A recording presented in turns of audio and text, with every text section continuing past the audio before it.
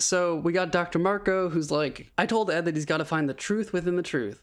But really, what he meant was the truth within the truth within the truth. There's a lot of jumps that he was expecting Ed to make. Wondering actually why he didn't tell Ed any of this. To give them a chance to back out. They were so determined that he knew that they were going to try and do this research no matter what.